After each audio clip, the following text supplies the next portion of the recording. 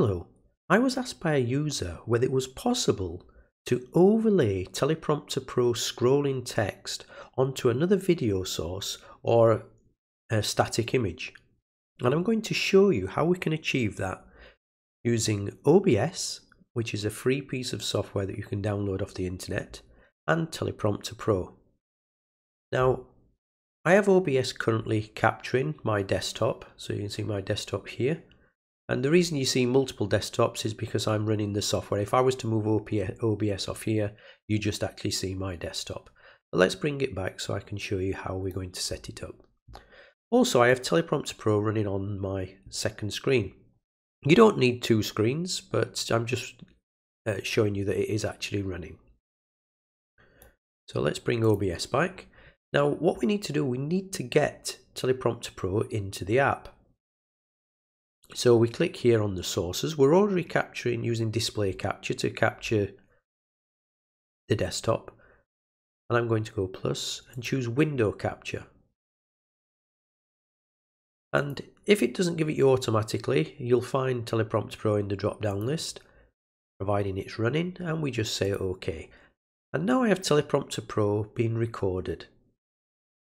But the first thing I need to do is I need to get rid of these grey menu bars. So if we press the Alt key and drag, we can drag these down till we get rid of the grey bars. Okay, now I'm going to just put it in the corner of the screen for this demo, but you could equally make it full screen, I'm sorry,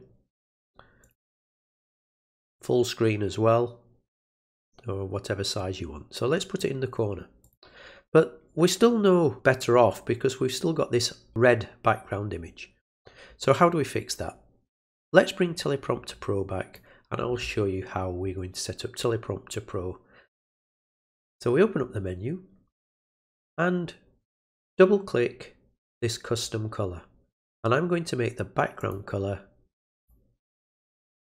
a real bright green and I'm going to make my text white.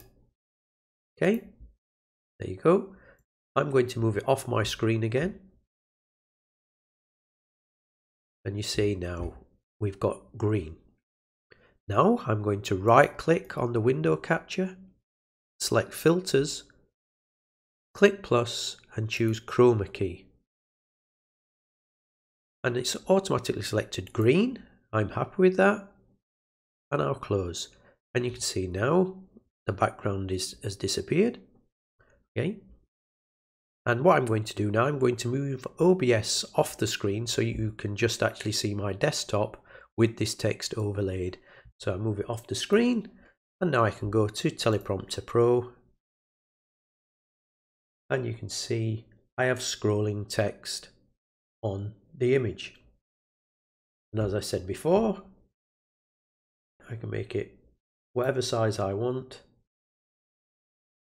and in the background, we could have video, whatever you want. So I hope you find that useful.